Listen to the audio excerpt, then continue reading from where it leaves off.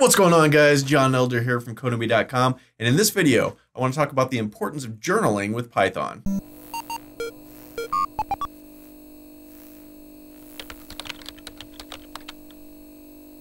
Alright guys, in the last episode we talked about version control with Git and pushing our code up to GitHub. In this video I want to take a step back and talk about the importance of journaling when learning Python. But before we get started, if you like this video and want to see more like it, be sure to smash the like button below, subscribe to the channel, and be sure to check out Codemy.com where I have dozens of courses with hundreds of videos that teach you to code. Use coupon code YouTube to get $22 off membership. That's all my courses, videos, and books for a one-time fee at just $27, which is insanely cheap. So, okay, journaling in Python. What in the world am I talking about? Well, this is not really a Python thing. This is more an education thing, a learning thing. And I find that I've taught a lot of people to code online, hundreds of thousands of people over the years. And how you learn to code varies from person to person. But I find for myself, the best way to learn is to write stuff down because you're learning by watching videos. It's easy to sit there and watch a video and go, oh, yeah, I understand that. And then you go on and watch the next video and you go, oh, yeah, I understand that. And then you go on and watch the next video. And then weeks later, days later, even hours later, you go to actually do the thing and you forget. Now, wait, what was that? What what were the data types again? What how how do you do you put a colon there? What and you forget. And then what do you do? Do you go back and watch the video? Which video was it on? Was it at the middle of the video? Is it a 20 minute video? Do you have to watch the whole thing? It's just hard. So I always recommend that you create a journal for each programming language that you're going to learn. And I mean a dedicated journal. So some people keep a notebook, right? That's fine, but you're going to lose that notebook. You're going to throw it away. You're going to misplace it.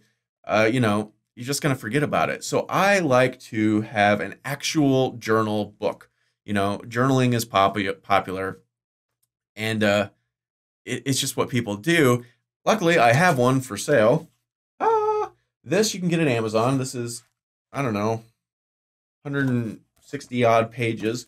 It is paperback, has a very nice picture of me on the back. And this is a dedicated Python programming journal. And all this is, is just a completely blank book, right?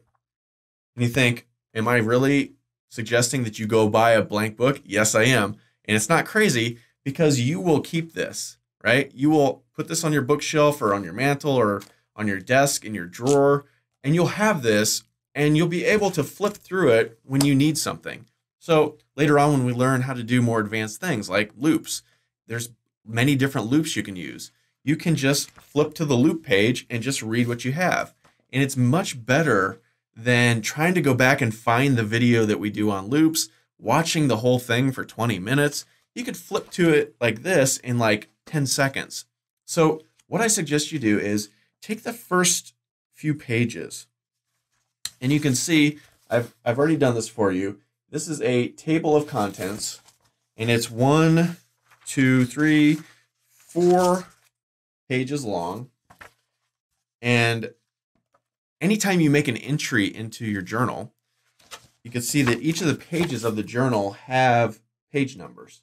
So if you're on page 34 and you write about loops, at the top of page 34, you write loops, and then you write the syntax for the loop and then any little notes that you might have, right? And then you take that page 34, go back to the table of contents, and on the next available open line, you write loops and then the page number 34 or whatever. So then in the future, when you need to look something up, you just come to your table of contents, you flip through it, you find loops. Oh, it's on page 34. You flip over to page 34, and boom, you've got it. So it's just, it's good for a couple of reasons. Now, it's not just me, it's not just you. All humans learn better by repetition. So, repetition one, watch the video. Repetition two, write it in your journal. Repetition three, look it up in the journal. This is how you learn things. This is how you memorize things over time. You do not learn things by watching a video one time. You just don't. You're you're not going to remember everything. You know, you, sure you can write it down on a piece of paper. You're going to lose that paper. You can write it down on just a normal notebook that you buy from the you know grocery store or something from Walmart. You're going to lose that. It's just a, a faceless notebook.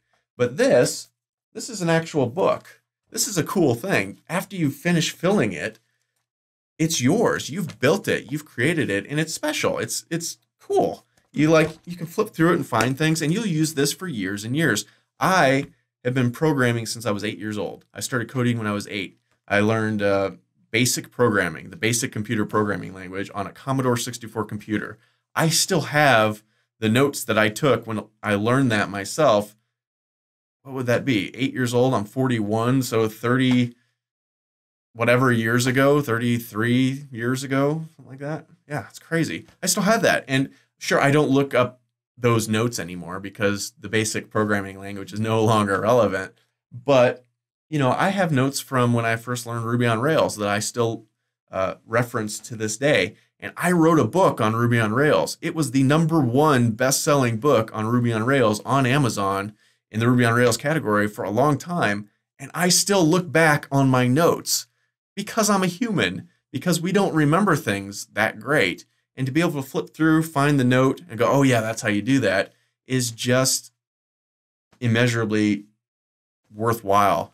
It's just, you know, it helps you so much. And to have a nice, like, pre printed one that says Python on it, it's just a nice touch, I find. Now, like I said, I published this book. You can find it on Amazon. Go to Amazon and just search for Python Elder or you can go to this link. I'll put it in the script in the description below this video, and you can see it is a little pricey, 27 bucks, but you know, this is programming. You're going to use this thing forever. You want it to be a, you know, you want it to stand up to time. You want it not to fall apart. And uh, that's just, you know, a pizza costs 27 bucks. Come on. you know what I mean? So that's all this is. It is just it looks like I purchased a copy of this. Huh, that's weird.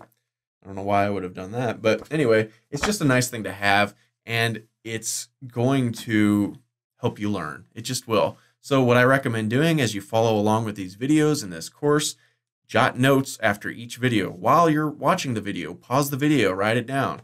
You know, for the, the data type section, you know, I would write down the different, probably not strings and numbers, but I would write down, I would create a page on lists. And then I would create a page on dictionaries. And then for dictionaries, I would just write this on the page. And then maybe a couple of notes. For the notes for the dictionary, I would say something like a dictionary is made up of key value pairs. Key is the first the first one, value is the second one. And then I might draw a line from key up to, for instance, John. And I might circle John so that I know that's the key. And then I might draw a line to this one and circle it and write value, key value pairs. That's what you need to remember. Then also, you know, how to access these. I would write that down, you know, so you remember. Now, these are very simple things, but until you memorize them, you're going to have to flip back and look at this thing. And you do not want to search around the internet looking for some video and then watching the 20 minute video to find one little snippet of code to remember how to do a dictionary. You just, it's a waste of time. It's going to drive you crazy. But if you got your handy dandy little book, you can just flip it to the dictionary page and go, oh, yeah, that's how you do that. So, you know, sure, I'm selling these things and I'd like you to buy mine. But if you don't buy mine, go out and get a stupid notebook and do it, do it in the notebook. Do the same thing. Create your own table of contents in the first few pages of the notebook. And then just, you know, as you write a new page, number them at the bottom yourself. It's going to be sloppy, but you know, it's better than nothing. And I just, I highly recommend, I cannot recommend it enough to keep notes, keep them in something that you'll keep forever because you will look back on it. It's just, it's just very important. And it just helps you learn. Bottom line, just helps you learn. And that's why we're here, right? So that's all for this video. If you liked it, be sure to smash the like button below, subscribe to the channel, and check out Codemy.com where you can use coupon code YouTube to get $22 off membership. So you pay just $27 to access all my courses, hundreds of videos, and the PDF versions of all my best-selling coding books. Join over 50,000 students learning to code just like you. My name is John Elder from Codemy.com. We'll see you in the next video.